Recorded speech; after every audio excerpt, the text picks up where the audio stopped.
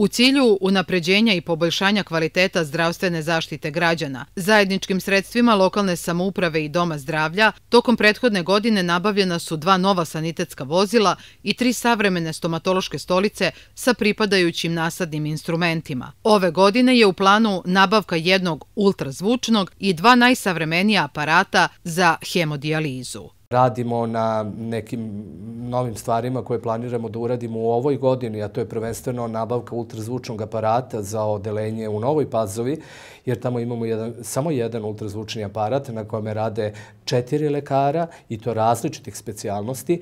Znači, tamo obavezno moramo da nabavimo jedan novi ultrazvučni aparat ono što naš fokus svakako treba da bude jeste i redovno servisiranje i popravljanje postojeće aparature, a mi imamo izuzetno mnogo aparata. Bilo da su u pitanju oni najjednostavniji kao što su otoskopi, oftalmoskopi ili oni komplikovaniji koji su vezani za određene službe, EKG aparati, zatim aparati za neku sofisticiraniju diagnostiku, da ne pričamo o aparatima na hemodijalizi i tu ćemo imati zanavljanje aparature sa dva nova aparata koje će stići na hemodijalizu, najsavremenija aparata ima potrebe za zanavljanjem aparature koja je već stara, a postoji mogućnost aktiviranja rentgen diagnostike na nešto većem nivou.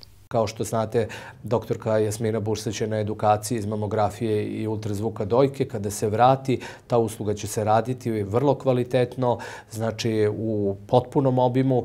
Imamo ideje da aktiviramo i rengen diagnostiku u nekoj drugoj sferi, ali o tome ne bi pričao sada unapred dok ne budemo sigurni da li je to moguće uraditi. U svakom slučaju, kada se radi o aparaturi, Tu zaista jako vodimo računa. Akreditacija, koja je dobijena na period od 7 godina, obavezuje ustanovu da redovno održava i servisira sve aparate koji se koriste u Domu zdravlja.